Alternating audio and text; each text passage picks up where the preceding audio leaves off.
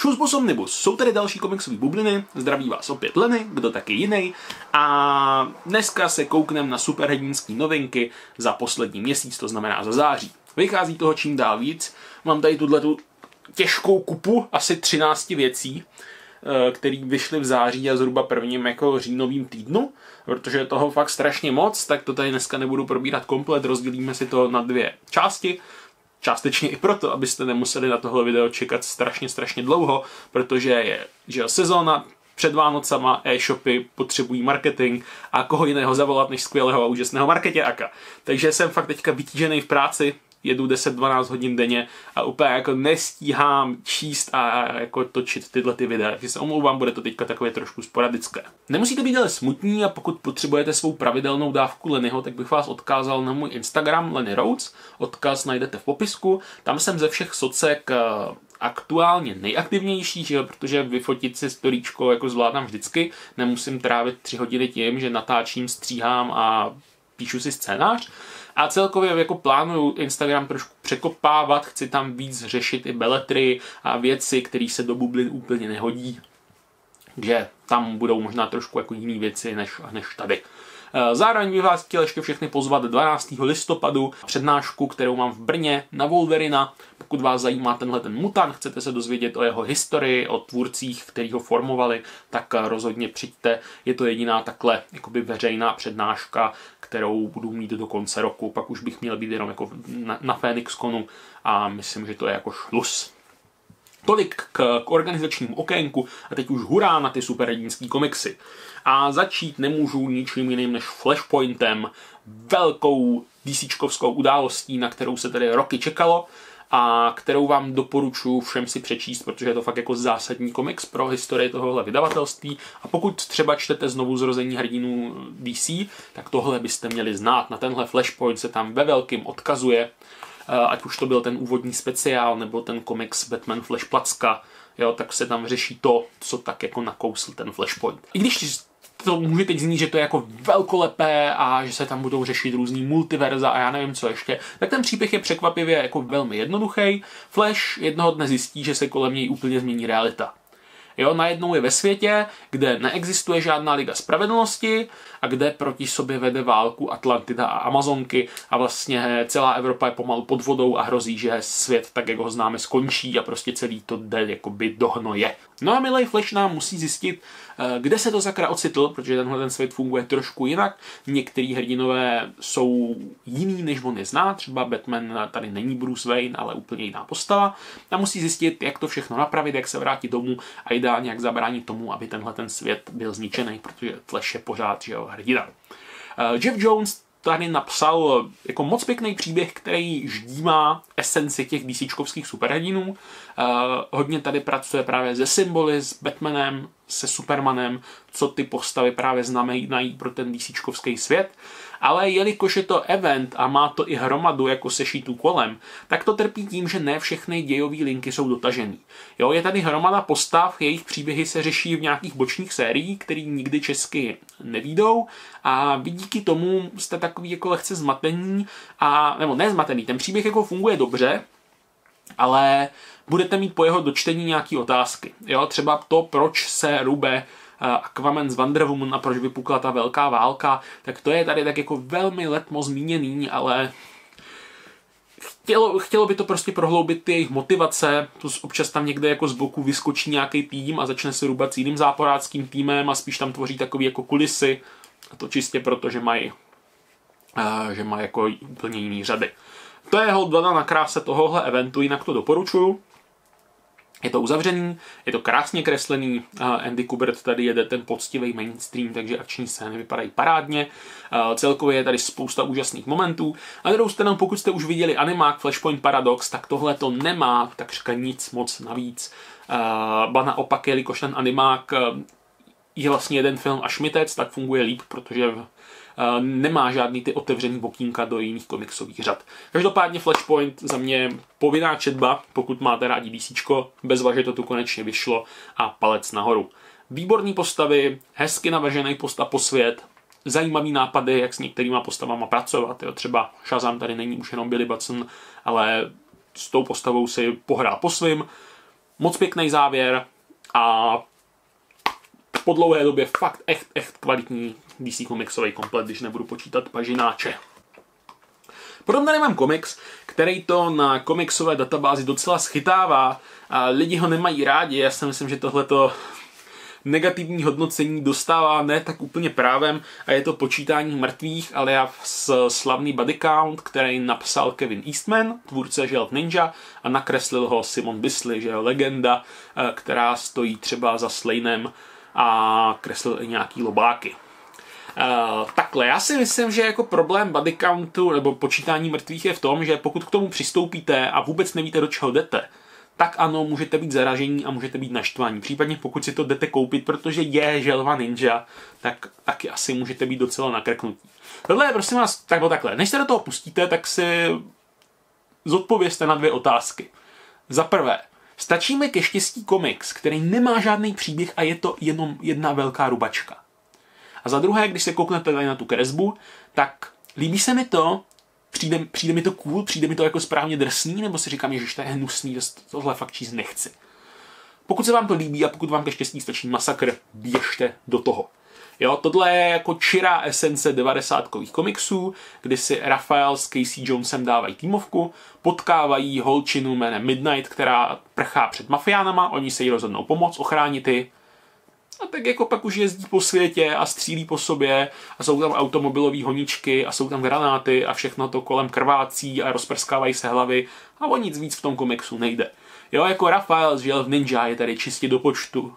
Ten má jedinou takovou roli, že jelikož se tam všude střílí a ta jeho Sai není úplně efektivní, tak přezbrojí na samopal a to je tak jako jediný charakter development v tomhle komiksu.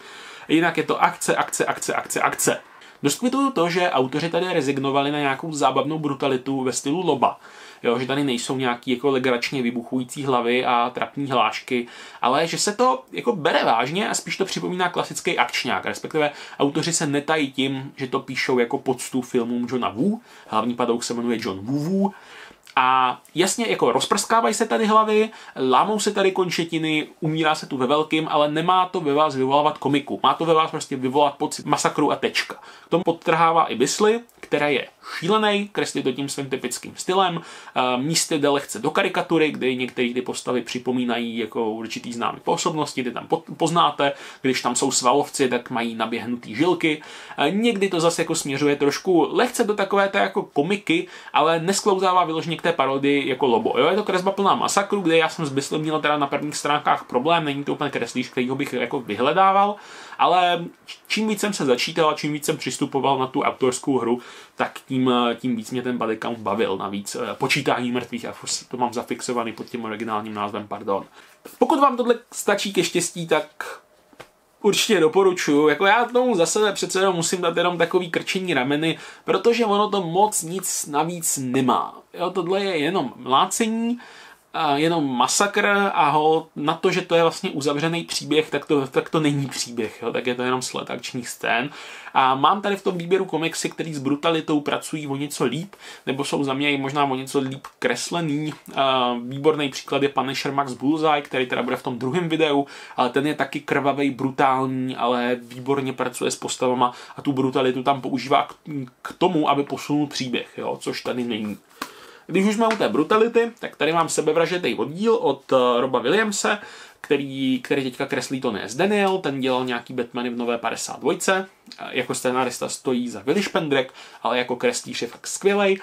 Je to tentokrát docela útlej díl a hodně mě právě jako připomíná ten body count, počítání mrtvých, ano, sorry. Protože tady tak jako vlastně o nic nejde. Ale nesnaží se to jako být předesnělý, nesnaží se vás to šokovat a nabízí to prostě čistokrevnou superhrdinskou zábavu. Jo, je tu hromada akčních scén, kdy sebevražený oddíl vždycky jde na nějakou misi, s někým se tam porube, jde se do dalšího sešitu. Hlavní zápletka, to jako tak odhalíte z té obálky, teda pokud máte obálku tu jako původní americkou, pokud máte českou, tak jste poznáte velký pendrek, jo, kdy tady máme naštvaného generála Zoda a zápletka téhle knížky je o tom, že Amanda Volrová nainstaluje Zodovi do mozku bombičku a pokusí se z něho udělat poslušného pejska sebevražedného dílu, což jí samozřejmě jako brutálně failne.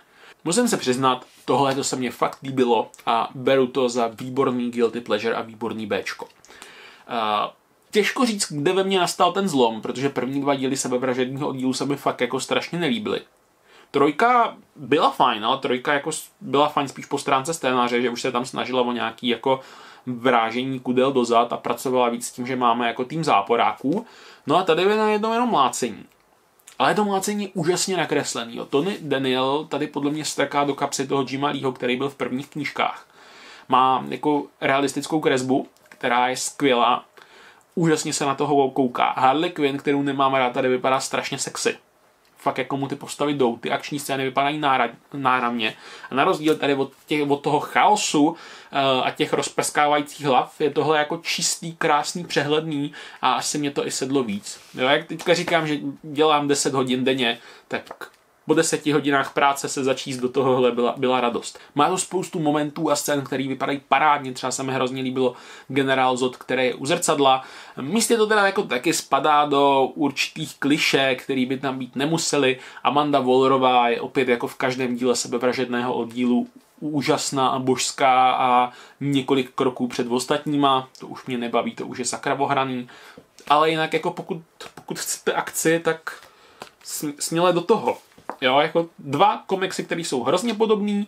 Tohle je čistý masakr s šílenou kresbou, brutálnější, plný krve, plný jako vybuchující hlav. Tohle je spíš v rámci jako pláštěnek, že se tady mlátí, mlátí, mlátí, ale nikomu se vlastně nic moc nestane. Je to úžasně nakreslený spíš takovým jako čistým mainstreamovým stylem v té nejdokonalejší podobě. A hold je na vás, čemu dáte, čemu dáte přednost. Když už jsem nekousl znovu zrození superhrdinů DC, tak u něho zůstanu a mám tady válku vtipů a hádanek. Čtvrtý Batman od Toma Kinga, tentokrát docela tlustý. Je to knížka, která i když má na žbetu čtyřku, tak funguje samostatně. Pokud nečtete Toma Kinga, do tohohle můžete klidně naskočit. Je to příběh, který se odehrává jakoby v minulosti, navazuje nám to velmi, velmi volně, nebo navazuje to tím stylem, že to vůbec nemusíte znát, ale jako vychází to ze Snyderova roku 0 když jo, Riddler ovládl celý Gotham, udělal z něho takový postapo a tím se tak jako etabloval jako jeden z největších Batmanovských padouchů. No a teďka Riddler svádí e, válku s Jokerem kvůli něčemu, nebudu spoilovat, a celý Gotham je jako několik měsíců pod palbou, mlátí se mezi sebou všichni záporáci, tyhle ti dva zabírají jednu jako městskou část za druhou a město trpí a temný rytíř to samozřejmě musí nějak vyřešit. Tom King se tady podle mě snaží napsat jako Batmanovskou klasiku. Eh, cítím z toho takový ten pocit, že bych chtěl být eh, další Miller, další jako Snyder. To si myslím, že mu úplně jako nejde, ale přiznávám, já mám vůči tomu Kingovi tak trošku averzi.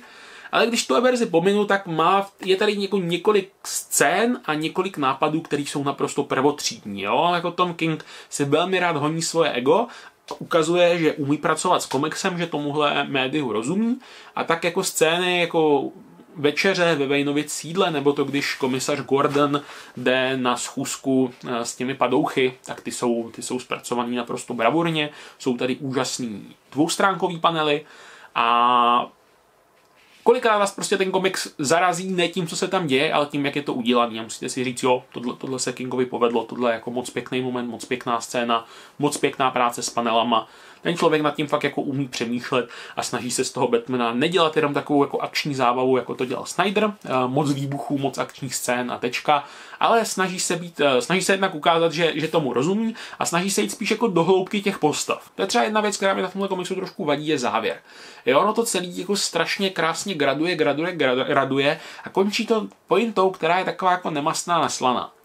Ale čím více jako nad tím budete přemýšlet a čím více budete snažit pochopit toho Batmana a dostat se mu do hlavy, tak jako tím víc vám ta pointa asi začne dávat trošku smysl. Protože ono to jako na první pohled působí hrozně banálně.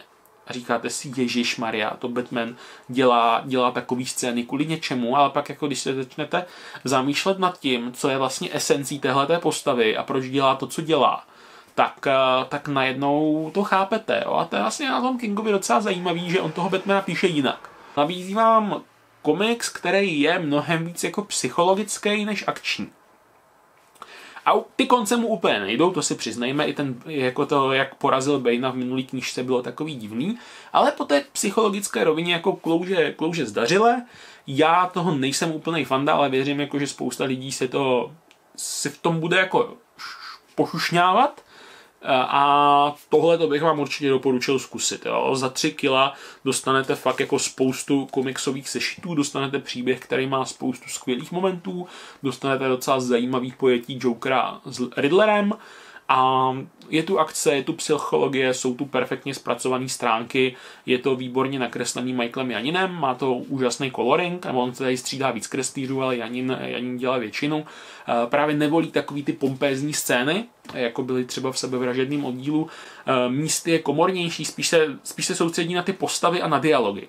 Jo, i když se tady vlastně mlátí dvě superpadouské armády, tak mnohem víc jsou pro ten děj důležitější konverzačky, řekněme statické scény, kdy Joker si s někým povídá, to ten Janin vykresluje úžasně, že se zaměřuje na jeho jako gesta, na, na mimiku a ty postavy právě zachycuje eh, v tom jejich rozpoložení a to, tomu jde skvěle. Jo. Otázka je, co, co vymyslel Janin, co vymyslel King. Myslím si, že King do toho jako hodně kecal, ale funguje jim to jako skvěle a to, to, tohle fakt doporučuji. Jo, říkám, i když nečtete Kinga, i když se vám třeba nelíbil první díl, já jsem gotem, tomuhle, tomuhle dejte šanci. Jo, ta klasika to za mě úplně jako nebude, ale za přečtení to uh, rozhodně stojí. A máme tu poslední znovu zrození Wonder Woman, uh, Srdce Amazonky, kdy Greg Raka v minulé knižce skončil a na jeden díl nám teďka vyplňuje prostor Shia Fonténova. Je to ženská autorka a její vliv určitě na Woman poznáte, teďka nemyslím nějak negativně. Je hezký vidět, co právě jako, že ženský zajímá na téhle té postavě, jo, že se nesnaží tady mít nějaký jako velkolepý akční scény a budovat nějakou trapnou romanci se Stevem Trevorem, ale mnohem více třeba soustředí na to, co dělá superhrdinku hrdinkou, jo, že nestačí být jenom silný, ale vyzdvihuje u ní věci jako soucit, jako naději, mnohem víc právě než uh, jako romantickou linku tady buduje přátelství uh, s Etou, s tou, s tou vojandou z minulých dílů. A to jsou jako moc pěkný témata, které se v té knížce prolínají, jo, i když tam bojuje, uh, bojuje se záporačkou třeba hnedka v prvním, v prvním příběhu, tak je pro ní mnohem důležitější ukázat ten soucit a snažit se ji pochopit, než, než ji někde zmlátit a svázat svým lasem. To se mi moc líbí. Ale má fajn nápady, ale kulhá podle mě v jejich realizaci. Kdy mě, teď mě hodně lidí ukamenuje, ale mě to místy připomínalo vičky který tady kdysi vycházely. Já jsem jako četl pár sešitů a přišlo mně, že ty vičky mají moc pěkný ty civilní scény, kdy si ty holky mezi sebou jako povídají a něco tak jako e, řeší, že si jdou na párty a pak, pak jdou koukat na filmíky. No a pak tom přijde ta část, kdy se z nich mají stát ty čarodějky, jdou do té akce a tam už to skřípe, protože to autorka moc neuměla a tady je to podobný. Jo, tady ve chvíli, kdy přichází zlý záporák a má dojít k mlácení, protože je to supernícký komiks, tak se to té autorce trošku jako rozpadá pod rukama a neví, co si s tím počít. Jo? Většinou eh, je tam akce, akce, akce, potom s Wonder Woman vymyslí věc, jak porazit toho záporáka a za jednu, jednu dvě stránky je konec. Což je blbý.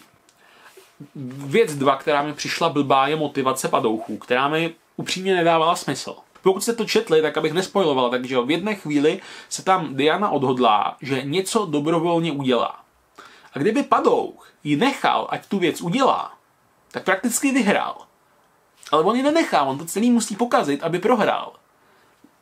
Říká, asi mi něco uniká, ale bylo to, bylo to divný. A celkově to téma, který se tady řeší, eh, je xkrát viděný, jo? nepřináší tady nic nového a nespracovává to ani nějak originálně, ani z nějakého jako zajímavé perspektivy. Tohle mě docela jako nudilo. Jo, pokud jste komiksový nováčci, pokud začínáte se superhrdinama třeba právě s znovu zrozením superhrdinů DC, tak jo, tohle vás bavit bude. Mě jako fakt nerda, který četl stovky a tisíce superhrdinských komiksů, tohle to příliš jako nebralo. Jo, líbí se mi ten přístup k Wonder Woman, líbí se mi pár myšlenek, ale to provedení hodně, hodně za mě skřípalo. Nepomáhá tomu ani kresba, která se střídá. Máme tady třeba Mirku Andolfovou, ta má vyloženě takovou jako mangoidní kresbu, když se kouknete tady na tohohle drsného pána od armády, tak vypadá jako nějaký bišík, který ho by hnedka holka dala do fanfikce. nevím, nevím, jsem z toho komiksu taky jako rozpačitý a tady, tady musím dát jako palec, palec dolů, byť mě to mrzí, není to určitě odpad, ale za mě teda jako spíš zklamání. Čím více to jako rozjíždělo, čím víc jsem se do toho začítal, tak tím, tím vlastně slabší to bylo. A je to i krátký, jo. tady jde vidět, že ta Shia je fakt jako taková výplňová autorka, protože tu knížku doplňují i nějaký speciály se Stevem Trevorem, to připomíná fakt jako tuctový dobrodružství Larry Croftový, prakticky, ne vlastně Lara Croftová s koulem a co si budeme povídat. Říkám, no a čty budou spokojení, pokud už máte něco načtený, tohle vás fakt jako ničím nedokáže oslovit. Eh, přejdu na Marvelovku, ať jako se chvilku, chvilku zbavíme toho DCčka a budou to Avengers světové turné od Jasona Arona a hromady různých kreslířů. Je to druhá knížka, první jsem doporučoval, první se mi líbila, ale říkal jsem, že to je vlastně jenom akce, akce, akce a obrovská mlátička superhrdinů s mimozemšťanama. Tady Aaron zvolnil a přináší díl, který eh, má akce minimum a spíš jako buduje scénu pro další příběhy. Novým vůdcem Avengers stává Black Panther a Black Panther má svoji unikátní představu, jak by měli Avengers ve světě fungovat. A celkově si uvědomuje, že svět nemůže stát na politice národních států, jo, že nemůže Amerika stát sama za sebe, že Make America Great Again je prostě věc minulosti. Naopak musíme musíme spolupracovat, musíme se globalizovat a musíme budovat nějakou jako velkou ochranu světa. To je jeden z nápadů, pak druhá linka, která se tu rozjíždí, je to, že Black Panther si um, jako buduje nějaký svůj vlastní tým uvnitř těch Avengers, do kterého nabírá lidi. Máme tady další divou linku kolem americké vlády, které se tohle úplně nelíbí a dělá proti tomu nějaký opatření. Máme tady dějovou linku s princem Namorem, který se teďka zase přehoupává na tu stranu záporáků a dělá peklo v globálních vodách a celkově se v té knížce děje strašně moc věcí. Kdyby Aaron tak jako dvě, tři odklidil, tak by to vůbec ničemu nevadilo, ten příběh by pořád fungoval velmi dobře. Jo, dojde tady vlastně na jednu akční bitvu s Namorem v úvodu té knížky, ale pak je to hlavně kecání, kecání, kecání. Za mě to není špatně, Uh, takhle, kdyby tahle knížka vyšla někde v komiksovém kompletu, budu asi naštvaný, protože sama o sobě je taková eh, žádná sláva. Ale když, to, když se na to budu dívat v kontextu celé série, že to vlastně buduje, buduje něco pro další knížky, tak je to rozhodně fajn. Snaží se dá i trošku víc pracovat s těma postavama, trošku víc je rozvíjet. Tomu teda za mě úplně nejde, eh, kdy Ghost Rider tady funguje v takové té typické pozici outsidera, který je nový v Avengers a všemu se diví a všechno objevuje. To je taková jako věčná, vděčná role, která se tam objevuje velmi často, pokud jste četli Avengers do boje od Kurta Busika, že jo, tam to plnil eh, Justice Firestar, ten mě příliš nebavil. Je tady linka, kde uh, Thor randí s She-Hulk, ta by měla jako vnášet do toho komiksu humor, ale tam mi teda přišla úplně příšerná, přijde mi, že Aaron jednak neumí psát romance, jednak ten no, ten vztah vzniká z ničeho prakticky. A když to jako porovnáte s tím, jak Aaron píše Tora, Tora, který už někdy jako v době vikingů s jíždí do Midgardu a ve velkém sexuje s pozemskými ženami a tady najednou je jako o nějakých tisíc něco let později na rande s šíhalk a chová se jako nervózní puberták.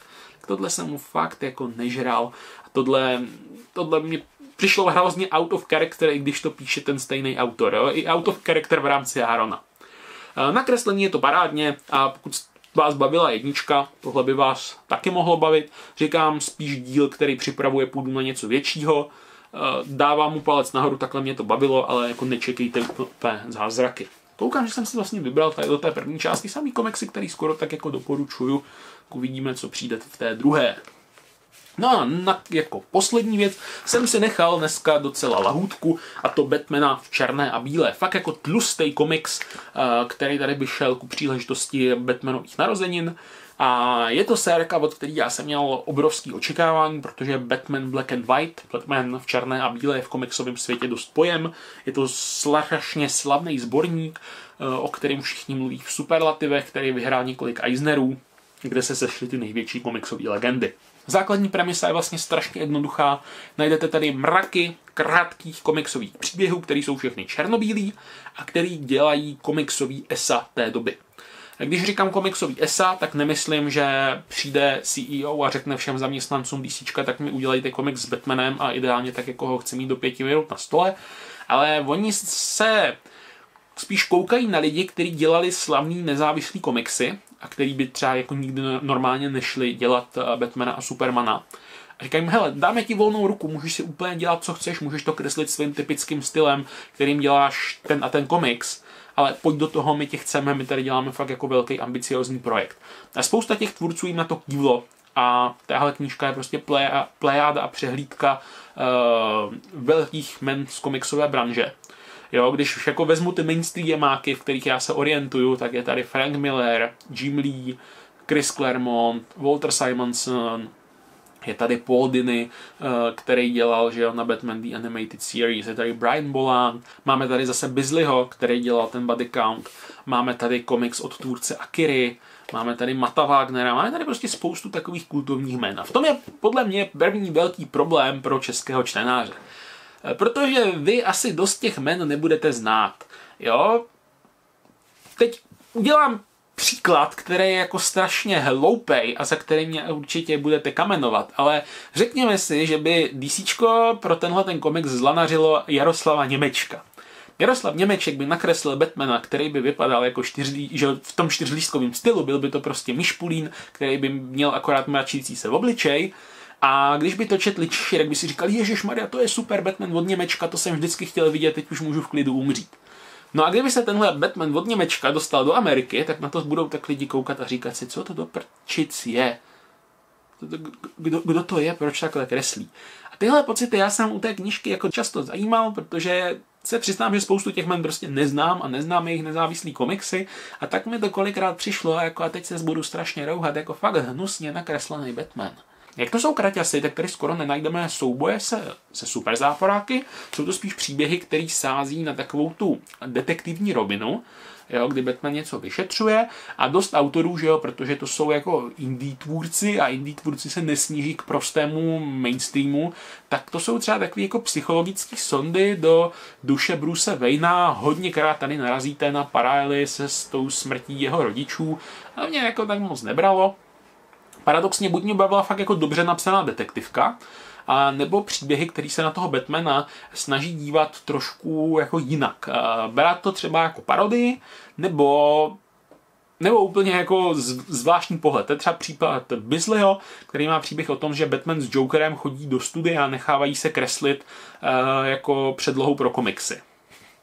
A funguje to, je to strašně zábavný a je to strašně bizarní nikde jinde na takový komiks nenarazíte, než v Batmanovském sborníku, protože by to neprošlo kontinuitou. Těch příběhů je tady několik desítek. Jo? Zákonitě najdete si tady takový, který vás budou bavit, najdete si takový, u kterých se budete nudit, ale že během pár stránek skončí a můžete do toho naskočit na novo. Eh, fakt si podle mě v téhle knižce něco najde každý, jak typický mainstreamák, tak Eh, člověk, který Batmana třeba normálně nečte a ujíždí spíš na, na indie věcech, ale osobně bych tohleto doporučil spíš lidem, kteří si chtějí právě jako prohloubit komiksové znalosti, poznat nějaký jako top nezávislý tvůrce a vidět Batmana v hromadě, hromadě kresebních stylů, eh, který v main, klasickém jako mainstreamovém komiksu nenajdete. Jo, pokud eh, jste třeba nováčci a čtete si Batmana ze znovu zrození a z DC komiksových kompletů, a tohle bych řekl, že musíte ještě trošku dospět, jo, protože ta kvalita je fakt jako taková kolísevá a spousta těch příběhů podle mě stojí jenom na tom, že vidíte, jak toho Batmana někdo nějak kreslí a je to vlastně jenom pak o tom, že tam Batman dá někomu podržce a šlus, no. Přiznám se, jak bylo očekávání obrovsky vysoko, tak eh, se dostavilo po přečtení lehký zklamání, ale určitě to není špatný, určitě to doporučuju. Jenom prostě berte ty superlativy, který tuhle, tu komiksovou řadu obestírají lehce s rezervou, respektive pokud nemáte dokonalý přehled o všech tvůrcích eh, nezávislých sérií v 90. letech, tak nemusíte zažít takovou tu euforii, jakou měli američtí čtenáři. No. Tímhle Batmanem bych to pro dnešek ukončil. Komiks měsíce, zatím je na něho brzo, zatím jsem projel půlku, ale pokud bych z toho měl něco vypíchnout, tak je to určitě že jo, Flashpoint, co by čirá esence DC, a tak takový fakt ten poctivý superhrdinský event. Je to určitě válka vtipů a hádanek, což je strašně zajímavě podaný Batmanovský komiks se spoustou drhnoucích scén a spoustou úžasných nápadů a spoustě úžasných jako zpracovaných stránek a je to samozřejmě i ten Batman v černé a bílé. Tyhle ty tři kousky byste si podle mě jako neměli nechat ujít a fakt jako vyčnívají z té řady a přináší něco neotřelého, něco nového a No dobře, Flashpoint nepřináší nic moc nového, ten je prostě čirá žánrovka, ale strašně dobře udělaná. Eh, Batman, eh, válka vtipu a Danek se snaží přinést něco nového a zase nabídnout nový pohledy na ty hrdiny. A tohle to je prostě unikátní sborník top tvůrců a top scénáristů a Alex Ross a prostě každý, na koho si vzpomenete, kdo v komiksový branži něco znamenal, tak tady jako je. To je z dnešních komiksových budů všechno, díky, že jste koukali a komiksu zdar.